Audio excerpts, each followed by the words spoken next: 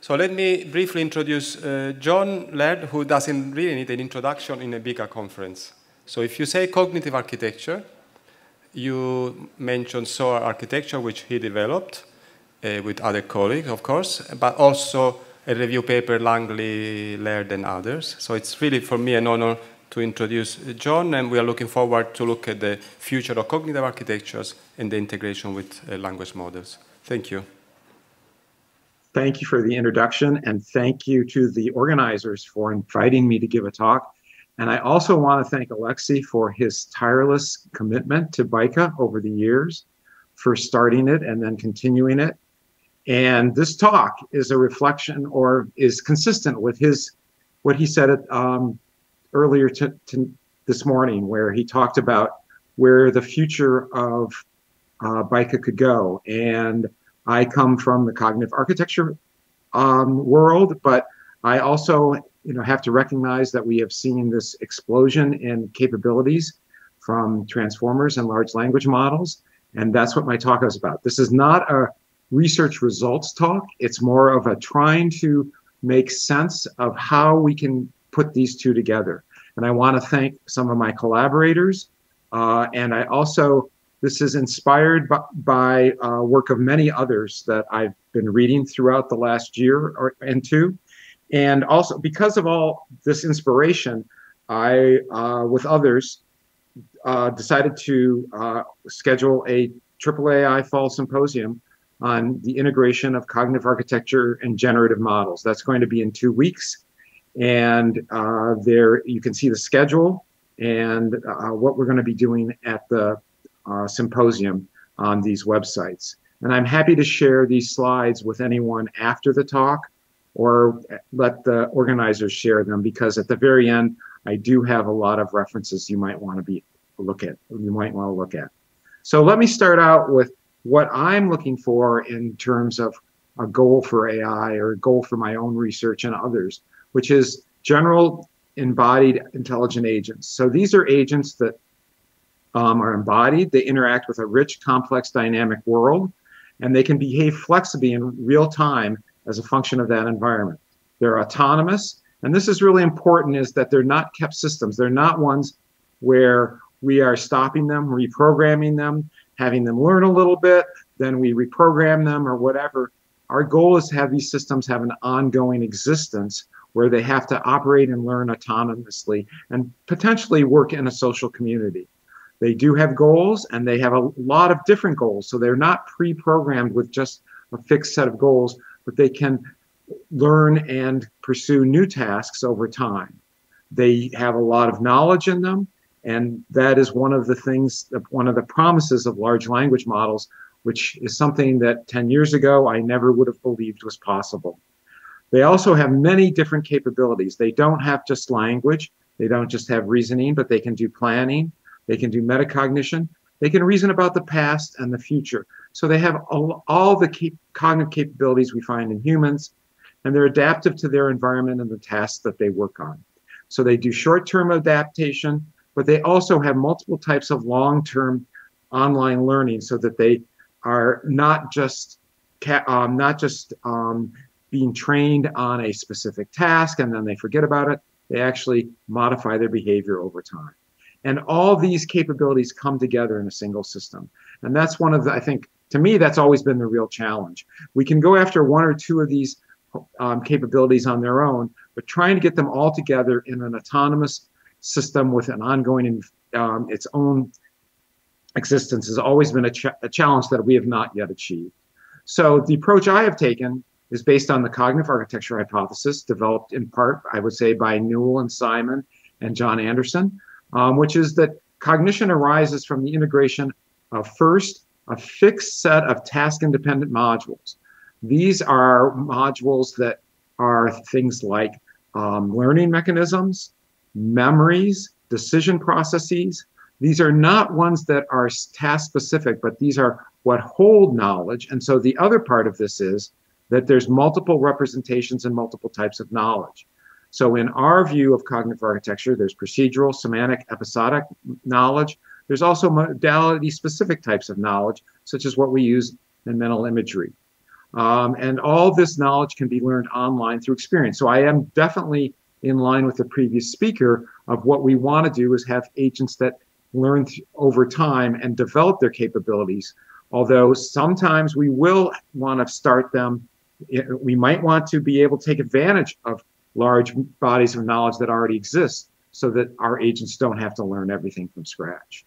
So, some examples of cognitive architectures.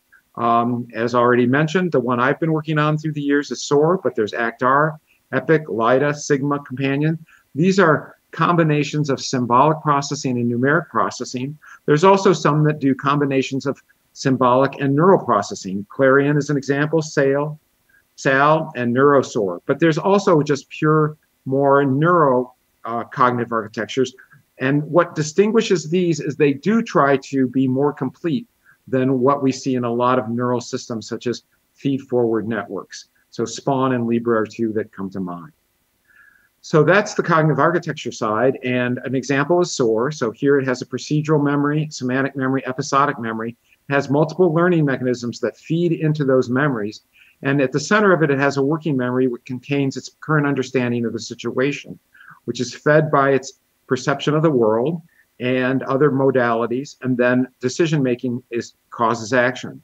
Within this, there's a, a set of cycles that are what's driving the system's behavior.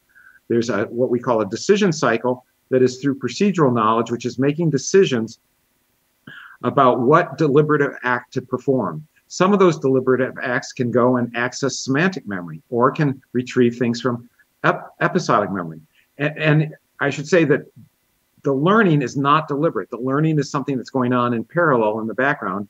And one of the things about this, these kinds of architectures is these different processes are all asynchronous running together in parallel. There's a, also the loop between interaction of working memory and the outside world. So doing actions in the world, getting feedback from the world, and then through decisions making other actions. So there's this bigger action interaction with the outside world. Uh, one of the things that we've done over the years is look for commonalities between cognitive architectures, and uh, together with Paul Rosenbloom, Christian Lebiere, we came up with this idea of a common model of cognition, which is the unification of multiple architectures. And this is just a scheme, a schematic diagram of, of what we see here. Although in the in the common model, we don't separate episodic and semantic. I sort of feel that was a mistake, that we should keep them separate, and there are separate parts to that. One of the surprising things to us was that this kind of approach, this actually these modules and the way they interact turns out to be the best match for brain structure when we look at the dynamics of, and resting brain activity and try and map it on the brain. If we look at data as to how um, activation moves through the brain, it seems based on comparison to other types of models, this is the best kind of model. So this is where it is definitely brain inspired. But you know that is our approach. But what we've seen is a flood of work on language models. So what are language models? My quick way of saying it is that there are neural net transformers, that's over here, that are pre-trained on massive text corpora to predict the next word. And they can be fine-tuned with additional text and reinforcement learning for human feedback. And sometimes they're trained on other modalities. But what's a bit amazing, I find, is this idea of attention mediated context based retrieval. That not only do you use, um, say, a prompt to do retrieval, but the system learns what aspects of the prompt should it pay the most attention to. And I think that was what was the, one of the key insights that have led to their pretty amazing behavior. So we do see that as they have a context that does lead to short term adaptation, but it does not lead to long term learning. So to me, they have incredible fluency in language. They have surprising abilities that are accessible through these prompts, um, but they also have some weaknesses. So what I tried to do here is talk about the strengths and weaknesses of these two approach. So in cognitive architectures, they're an established approach to goal-driven agents. Um, they don't require custom code for new tasks. They require additional knowledge, and they do integrate multiple types of knowledge, representations, planning, online learning, and they do have efficient real-time reasoning. However, they have limitations. They have limited innate pre-trained knowledge. There's no innate language capabilities. They have difficulty capturing general regularities and experience, at least in the components that we have in them today. There is some ability there, but it's not as ubiquitous or as deep as what we have in humans. And they, um, for the most part, don't come with innate perception and motor capabilities. In contrast, large language models do have massive bodies of context dependent pre trained knowledge. They have amazing fluency across the broad range of language capabilities. They're continually approved. And this is a funny thing. Because they're so popular, they are continually approved by massive financial investment of tech companies and others. And so we can, this is a wave we can potentially um, ride on that um, for building AI systems. But they do have limitations. They require ad hoc architectures. They have the potential for hallucination. They have no online learning. So I find one of the ironic things is a system that is so based on learning and pre-training itself has no learning. It can use context to adapt, but it doesn't have any memory of its experiences, nor does it change the weights um, while it's performing a task. And there's no ability to reason over different world representations or grounding to perception. And it's also very expensive. So the hypothesis is, is if you look at this, and this is very gross, is that just that well, these advantages over here help with the limitations here, and these advantages over here help with the limitations there. More deliberately, in terms of if we go from language models, what do they provide to cognitive architectures? They provide a large source of diverse knowledge. They provide transaction between perception to internal um, representations, possibly, and they provide natural language capabilities. The cognitive architecture supports um, reasoning to to verify um, the knowledge we get out of large uh, large language models through multi-step reasoning. They also support interpretation and grounding of responses. They also have um, can create these internal contexts and prompts to support complex reasoning, retrospection, planning, and metacognition. And they have their own learning mechanisms so that the system can adapt over time. So th- that's what the hope is. And what I'm going to do but there's yeah, but there's many challenges. And what I'm going to do for the rest of the talk is look through potential types of integration of these, and they're sort of the obvious ones. So it's not nothing here is going to bounce out and say, well, I I would have had trouble thinking of that. But I just think it's worthwhile for us to consider what these pot- potential integrations are. And the, I'm talking about online integrations where the language model is being used while an agent is being um, executed within a cognitive architecture. There's other ways of doing offline transfer of information from a language model to cognitive architecture. That's not what I'm talking about. So let's go through these one by one. So we're going to take an existing cognitive architecture and augment it with a large language model. So what does that look like? So here's our generic cognitive architecture. Um, and what we're going to do is add an ability for it to access a large language model through an API and go out and get access to GPT-3. So the large language model is queried for knowledge with a language language-based prompt. So this system is going to create prompts that are going to be sent there. It's then going to get a response back and it's going to process it as if it was like a sensor um, from perception, um, but it can ask for you know facts about the world or or whatever. And it can then do reasoning over what it gets back and try to decide whether it's correct or not, possibly do multiple retrievals, etc. The long-term memories are going to store the information it gets back from the language model, so it will generally move from having to access the language model to getting information directly from its own memory, which greatly speeds up the system and reduces the costs. But there's still challenges. It still requires the procedural knowledge for generating the re- appropriate response, I mean prompts. It also must translate all of its internal representations. If it has an internal question that it wants to ask, that has to be done in language. So how does it translate that into language? And then once it gets to the language, must translate that language back into its own internal representation. The large language model is, is fixed so that it doesn't change over time, and it is can be expensive to use. So we've done some work with this, and this is in the context of what we call interactive task learning, where we have an AI system and we're trying to teach it a new task from scratch. So it doesn't know the tasks. We're giving it that information to teach that. And we've done this in the past just with SOAR and taught it a wide variety of games and also mobile robot tasks, such as how to fetch things, how to um, uh, deliver things, and things like that. And after teaching, it now knows how to do that task and has permanently changed its long term memory. We saw that large language models provided an opportunity for replacing a lot of the questions the system would ask of the human about defining the task and just get that directly from the language model. So whenever the system encounters a novel task, it asks the human for the goal that it's trying to achieve and the steps of the task.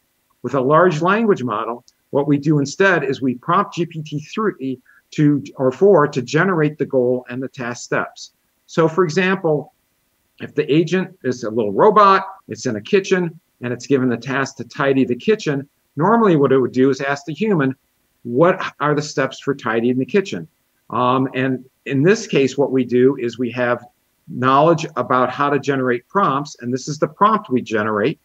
So this is a prompt that is um, a, gives a example of a different task, and then it gives us the, how what result we want from that task and the steps. So this is a standard thing you do with language models is you it's sort of this one shot example of what I want and then we actually give it the task that we actually want it to tell us information about where we fill in the blanks so that everything in green is specific to what we're trying to teach it and if it was a different task we would fill it in with different things but th- we fill this in and then to me at least surprisingly we get a response that the goal is that the paper is in the trash and the steps to do it are pick up the paper cup and put the paper cup in the trash. And this works, although we often get responses that actually aren't very viable for, for a variety of reasons. Like it might tell us to close the recycling bin when our recycling bin doesn't have a top. It also might tell us to pick up two things when our robot actually only has one arm. So we have to be doing some corrections to that. So we've created um, an algorithm. Actually, it's procedural knowledge in SOAR that we call STARS. And this is just, I'm not going to be able to go through it in detail, but it what it does is it actually does a search of high probability responses using a beam search. So it's actually asking for multiple queries of the language model, gets many back, and it does a beam search to find the best ones. It analyzes those and repairs them, and it looks for mismatches between what the system says you should do and what's possible to do because of the physical capabilities of the robot and what's in the environment. Um, so, for example, and it also just background knowledge it has. Like, for example, it might tell us to put the paper cup in the dishwasher. Well, we know that we should. The system knows that, and then we select it from the candidates given the context. So, with this, what we find by augmenting it is that about 70% of the responses we get from the large language model are not viable. But when we go through this procedure, we achieve 100% task completion and a 70% reduction in the user effort compared to only a human. So with a human, we don't use the language model. We just ask them lots and lots of questions and it leads us through and actually answers it. But this then allows us to uh, do this at 100%. All right. So another possibility is that not doing sort of a knowledge based thing, but we actually replace perception with a large language model, which is actually not a language model per se, but it's a language model trained on um, images and then how to produce the, the language in working memory. We can also do that on the action side, how to go from internal representations to um, control systems. And we still must pre train these language models and get data to do it and we are stuck with whatever capabilities they have. So if suddenly we decide we want to perceive something new, we would have to retrain the language model. And also, of course, we have the time and the cost. So what about non-cognitive architecture language models? I mean, architectures. Well, it turns out there's lots of them. So this is just a par partial list. Here are two surveys that are excellent and going over them, but there's just lots of different kinds of architectures out there that aren't sort of the kind of cognitive architecture I'm talking about. There, my claim is, sort of a simplistic over general claim, but they're specialized to specific tasks. They don't try to be as general as a cognitive architecture in their reasoning and capabilities. They are only going after, say, planning or or are other specific capabilities. So they don't have the breadth of cognitive architecture capabilities that we see in standard cognitive architectures. But it's possible some of those capabilities could emerge from implicit knowledge in the language model. And that's one of the things we need to investigate. But let me keep going and look at novel cognitive architectures with large language models. So these are where we build a new cognitive architecture because we're going to do language models. And a, a really fun example of this is the generative agent. This is a, they created agents that exist in this um, pretend simulation world, and they are um, all interact. And one of the really interesting things that they did is everything is that all the knowledge is represented as natural language wordless, like sentences. So there's no other kind of representation like there is in SOAR or ACT-R, which is a graph-based symbolic representation or um, even number representation or iconic representation. This is going along with everything is language. Um, it does require perception to produce language and action to take language. And they not only have um, uh, this representation in language of sort of the working memory, but they also have an episodic memory that keeps a list of what they've experienced and they can do reflection over that. So there's a lot of neat capabilities in this, and this is sort of the general control flows that they perceive things. It goes into the memory stream as language, and then they use the language to retrieve memories from uh, that they've had before, and then they use the large language model to do reflection and planning, and that then finally leads to actions. Um, so uh, they realize a society of agents that do spontaneously interact, coordinate, and generate ongoing believable emergent behavior. But there are some challenges. Um, you have to have a domain where it can be all done through language. Um, it is restricted to planning and reflection. There's no verification of the correctness of the language model retrievals, and the valuable background knowledge is fixed, and it is expensive. So one of the co-authors is Bernstein, and this is a quote. Bernstein says running the sim for a day or more costs upwards of a thousand dollars, and that just is like wow. To me, that's a huge um, expense. But this is a really interesting system, and I recommend people look at it. Um, it, it has weaknesses, but it's going in an interesting direction. Another possibility is looking at transformers. So don't think of having something that's pre-trained. Instead, think of using the transformer technology and extend the cognitive architecture with a transformer. So leverage those capabilities for online learning. So put aside what language models do and add a graph transformer to something like SOAR, where the experience is going to be of changes to working memory are going to be used to trans to train the transformer. So there's something called graph transformers that are able to learn from graphs as opposed to just list of words. So we then retrieve what what um, we we can still do deliberate retrieval from this or maybe spontaneous but the key idea is instead of predicting the next word this transformer is going to predict the next thought or something like that. Now there's really challenges is that the representation is not this list of words but parallel changes to graphs. There's also a question of what initial knowledge does the agent have to sort of bootstrap get the pump going so the transformer can actually learn. And is the experience that the agent already for generating the knowledge it has for generating experience is that going to be sufficient that the graph transformer has something to work with to really get started? And it's going to require a lot of resources to keep doing this online training of this and so that could be very expensive. And i really don't know if it will produce anything useful. This is completely a proposal. So finally what about novel cognitive architectures that use transformers throughout? So we would build a complete trans a cognitive architecture with transformers at its core. Um, and transformers, or at least neural networks, would be all the way down. No explicit symbolic components like I've been showing for those other approaches, um, the other three approaches. Now, the th thing is, I have no idea how to do this but I think it's a really worthwhile thing for people to start thinking about is how to integrate other neural architectures with transformers to try to create the complete capabilities we see in the more traditional cognitive architectures.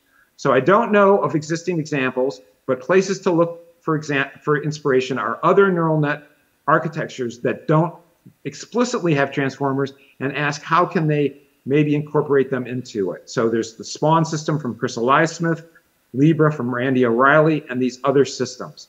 So I think this is an interesting question. Um, I don't have the answers, and maybe that maybe it's not possible, but I would love to see other people do work in this area. Uh, John, sorry. So I don't. A reminder. So let's one or two minutes. Stop right now. And so this is just a summary, and stop and take questions. Thank you. Let's thank the speaker. John. Thank you. And if we have questions from the audience, I guess you will get a microphone. So we have one question there. And then you're the second. Uh, hi, John. Thank you very much for the great talk, which exceeded all my expectations, of course. A lot to learn, a lot of ideas. And one particular idea resonated with my own, and please tell me if I got it right. Uh, that large language models uh, can be used as a peripheral device to cognitive architecture, providing uh, senses and actuators in the domain of language. Uh, because they, they can recognize all intentionalities, uh, uh, emotions, and so on, and tr even translate them into numbers, if you will, or any other form of representations. I mean, ChatGPT can do that just with the right prompt. What do you think? Um, so language models can are you know are predictors from what they were trained on.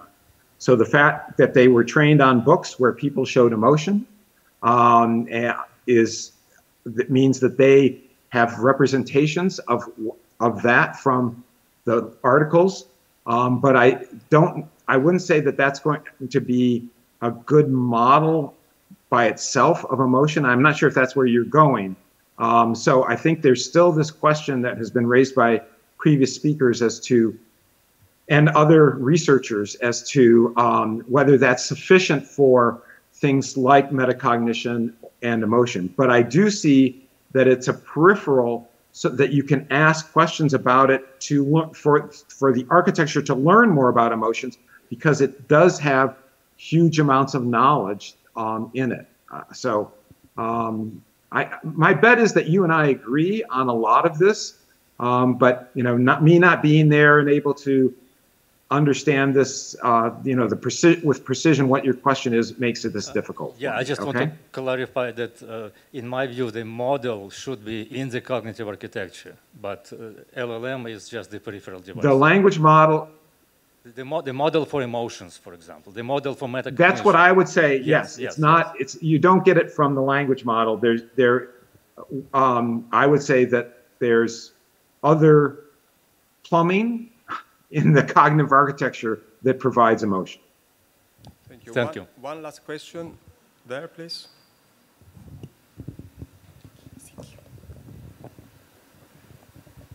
Uh, hello, thank you. Um, I'm just so I'm being a computational neuroscientist, and I have just noticed mapping. Can you hear me? Yeah. Can, oh, good. good. uh, I just noticed uh, mapping to the brain, and uh, that really raised my interest. Uh, and uh, I have a problem with. Um, um, terminology of memory because brain it's a bit more than just memory. Uh, I mean, the mapping from the cognitive architecture that's mainly based on terminology, possibly just terminology. But uh, could you, uh, and I have um, noticed in this particular conference a lot of reference to emotions, uh, which I believe large language models are not capable of because lacking of neuromodulation mechanisms on the level of the neurons especially dopamine, serotonin, and noradrenaline. But I noticed that you have reference to the limbic system. And could you give some details about those three guys, noradrenaline, serotonin, and dopamine, implementation in your mapping? Thank you very much. So we are at a more abstract level than you are comfortable with.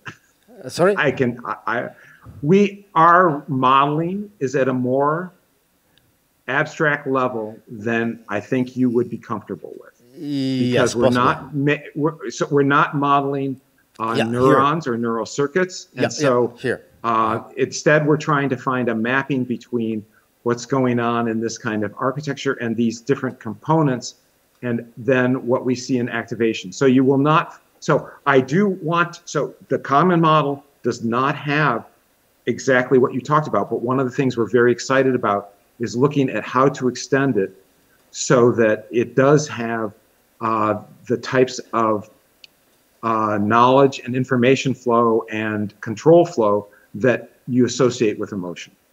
So you won't see that in our models today, but that's something we see as, as something in the future. Thank you. But what, d- why don't we just uh, start with extension of model of neuron with neuromodulation? So, so this is the level that you want to get models at. So I, I, I believe there's regularities at you know different time scales, and the time scale of the neuron is great for specific uh, types of modeling. Um, there's um, work recently done on fruit flies of modeling almost all the neurons in a in a fruit fly, and that's great for the the very low level time scales. But if we want to model things that are like at 50 milliseconds and above, that uh, at least so far, um, we haven't been able to develop uh, the, the number the number of neurons that takes is, is oh, so Spaun is a good example of something that tries to do what you're doing you're talking about which uses uh, spiking neurons to try to get up to this level of abstraction and so i would recommend you look at the Spaun architecture and Leabra um, both of those are ones that are taking the neurophysiology or, or structure much more seriously than what we're trying to do. We're sort of coming from the top down, they're going from the bottom up, and our always our hope is that we're going to meet in the middle. So Thank- thank you very much for Thank that you, question. John. Let's thank the speaker. All right. Thank you, John.